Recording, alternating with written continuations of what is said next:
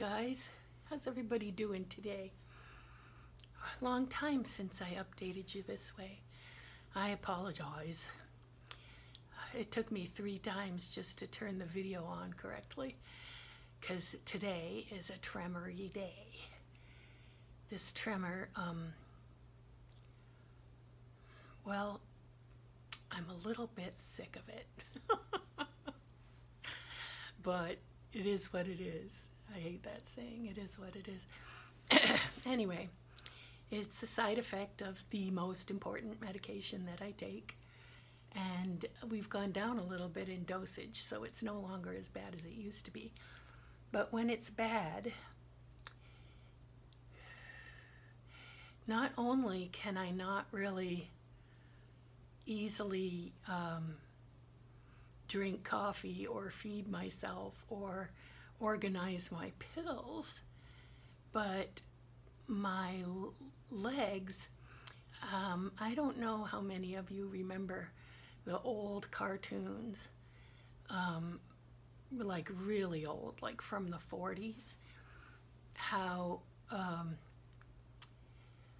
the, the characters were often drawn with legs that were just all rubbery like they sometimes they didn't even have a knee. And uh, so the the characters could do all kinds of really funny walks. Um, those old cartoons crack me up except when my own legs feel like that. It's um, it, you feel like you're you know i mean standing up and or walking even uh, not, in addition to just the things you try to coordinate with your hands feel um, your legs just feel like you have no stable. You know what you feel like? Is one of those long tall skinny met people with the air being pumped up through them and they go, you know, fruit, fruit, fruit, and sometimes all the way down to the ground before they bounce up again and everything. That's what it feels like, and it makes your. Um, you also feel as though you were actually moving that way, in that it makes you dizzy and a little nauseous. So, uh, yeah, you get it. It's not much fun. And hey, I can breathe. I can breathe and I can breathe well enough that the tremors are the most annoying thing rather than trying to catch my breath. But oh, I get I get really sick of it. And uh, my my housemate that keeps me laughing all the time has now been away to uh, see family and do some ministry for almost a week. And I did not in any way, I mean, I did, I know what a mood booster he is. But this week of number one, I had my first migraine, uh, the real kind of migraine. I've had the cluster headaches and um, and the visual uh, halo kind of headaches for a long time, and those are really in the migraine category. But I had never had one that made you feel nauseous and like your head really could possibly explode. and I don't know why my voice is so raspy. I think because with nobody in the house, I don't talk much. So it's kind of uh, out of uh, practice. Um, but anyway, so yeah, migraine headache with the light sensitivity and and uh, noise sensitivity and that for the first time. So Tuesday I missed rehab because um, I had some pain medication left that I doubled up on because I was just in uh, Tylenol didn't touch it and I was in too much pain. So very shortly after I got up that day, I took some pills and went right back to bed and slept until four o'clock in the afternoon. But when I woke up, the headache was gone. So I was happy about that. Um, and all of this stuff that I tell you about, all these side effects, they're so well documented for people on Tacro and a couple of the antivirals and antibiotics that I take cause some things. And I didn't really, I took my pulmonologist's word for it because he knows everything.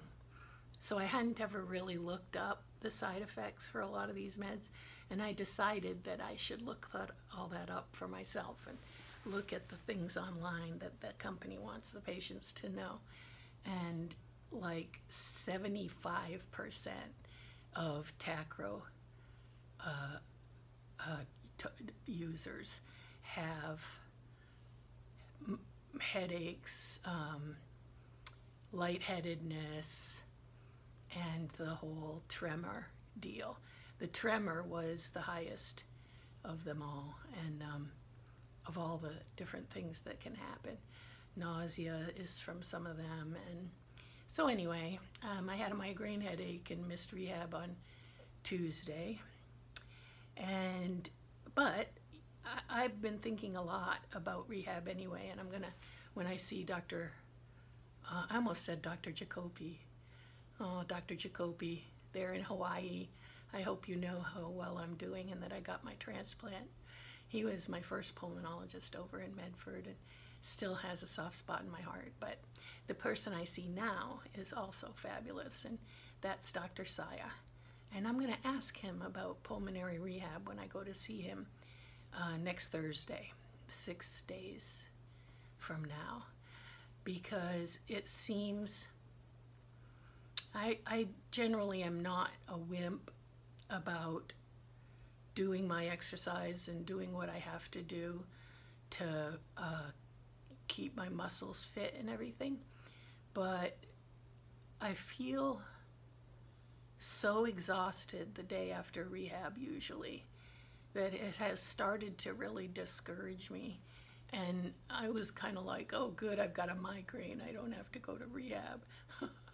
which is definitely not the way to look at pulmonary rehab, but I just really think that uh, I think I think they work me too hard. Yesterday I did two miles because after the tremors went away about three o'clock, I was able to walk the halls, and so I did a seven mile, seven lap, um, of the seven laps of the floor here in my apartment building uh, at about 4.35 in the afternoon.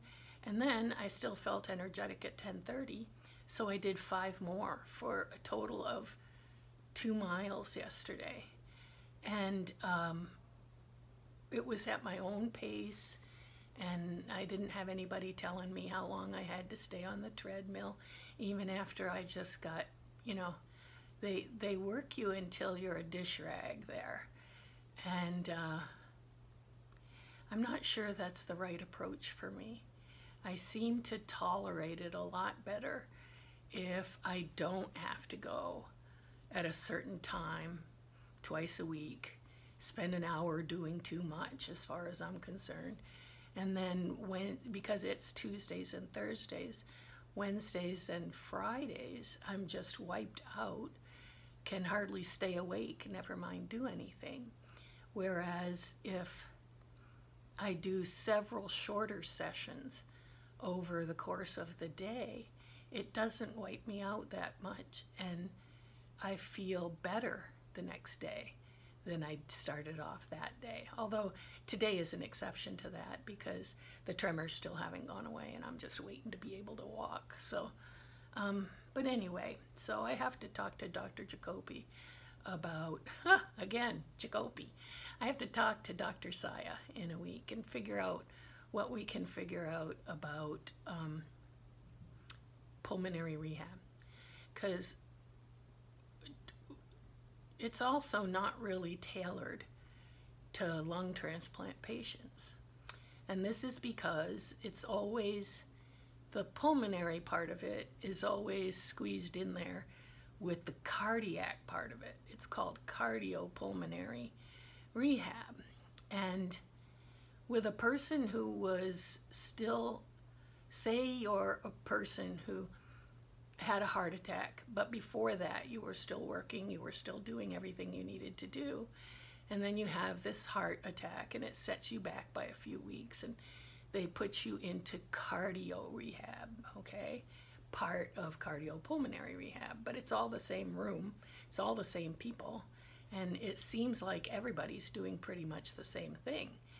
So these cardiac patients come out relatively healthy, except they had a heart attack, but now they're on their recovery.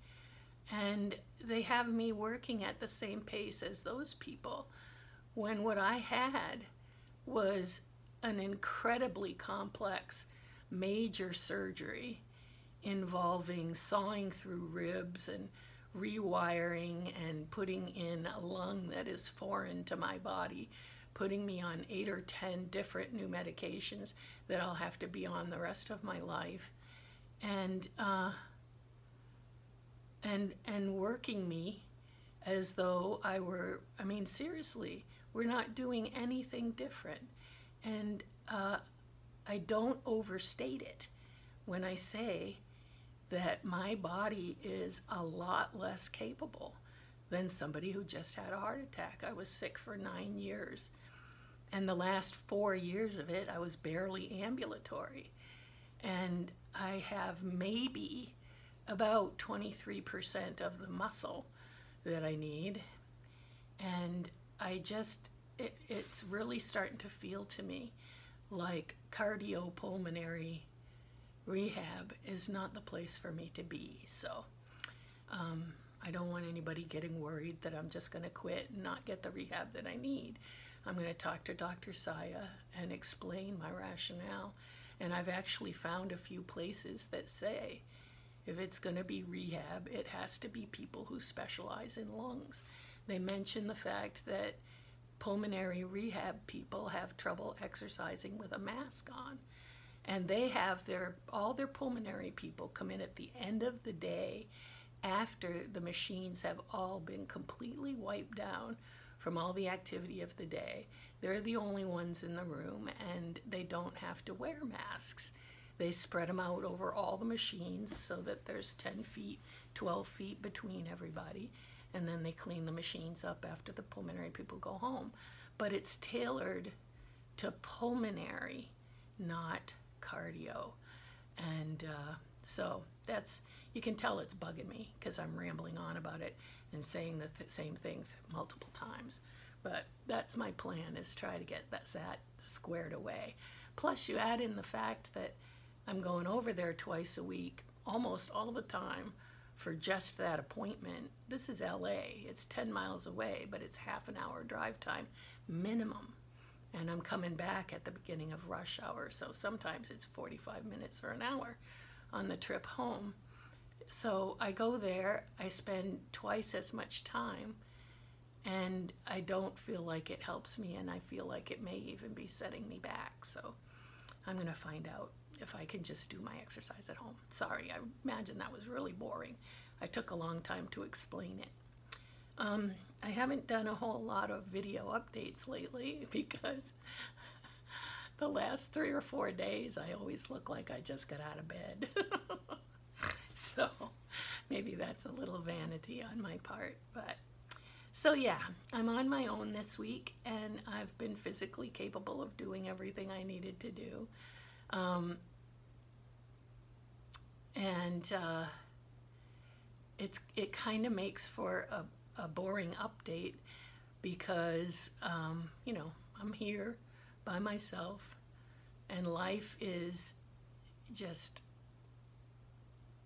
less interesting than it is when I've got my trusty sidekick with me and we're going to out to eat and we're so, occasionally uh, like once every couple of weeks or something and uh, we go out. We just started going out for walks and all that. So uh, I'm. I thought that I would be doing the same thing when he wasn't here, but I'm timid about going outside alone. I did it once and I enjoyed it and I took pictures, but I wasn't as strong as I thought I was. and uh, and I felt really like if I got in trouble, I wouldn't be able to. I wouldn't be safe. So uh, I didn't go out again, especially when I've got such a nice one mile hallway if I walk it five times and it's easy to measure and if while I'm walking it if I feel tired I go right inside my door and sit on the little bench we put our shoes on and stuff. So um, just feel safer. Uh, if I don't do too much alone outside the apartment um, but that's fine with me. I'm not chafing at the bit to get outside. I'm just uh, enjoying my own company, but without anybody else here. I'm missing my. I, I was wishing today that I was near my rocks because one of my favorite things to do is sit a while looking at my rocks and I'll look at where they came from and what type of rock they are and research them online to see what cabochons are going for, the stones that you cut to fit into jewelry and I can keep myself endlessly entertained just with my rock collection. And, um, and of course, the view outside my Oregon window. Uh, gee, the Pacific. Oh, and, and all the, it's just, I have a really uh, comfy little house that I'm starting to miss after basically, I basically haven't lived at home since uh, about Christmas time, except for uh, a couple of months, and Circuit Rider was there. So there's going to be a bit of an adjustment getting used to living on my own again. Now, what else? Seems to me I was thinking of something. But um, I continue. Some of you remember uh, from before the lung transplant project got really intense, that I was um, a fairly politically active and uh, interested person. And uh, a lot of my friends and I would talk politics on my Facebook page.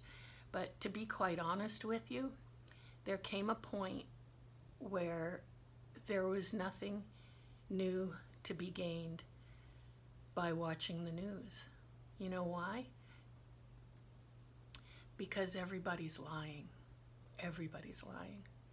You can't trust a thing that you see. And I just decided why am I filling my head with other people's lies? You know? And so a lot of people think that's a cop out. I don't think it is a cop out. I think it helps me be a sane and calm person compared to the people who are yanked around by false news stories in whatever direction and constantly in a turmoil. And I'm not sure I'm going back to it because you know what? The Lord is in control and His will will be done. And uh, you can't tell me that other than speaking the truth, the average citizen can do anything about it. And I already know how I vote, and I already know what I believe, and I don't need my mind being clouded by a bunch of people with an agenda that just lie constantly. So, TV news ain't where it's at. It just isn't. And all it does is muddy the waters to watch it.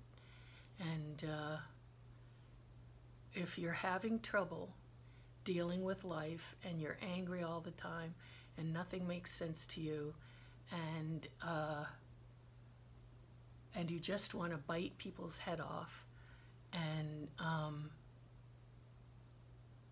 that occupies a lot of your day you do whatever you want but my recommendation is disengage don't watch tv don't listen to the news. You know, there are, I, I don't, you know, don't, I'm not telling you what to do, but I'm telling you what the reality is. You aren't going to get anything you can believe from turning on the boob tube and voluntarily brainwashing yourself. with all their drama.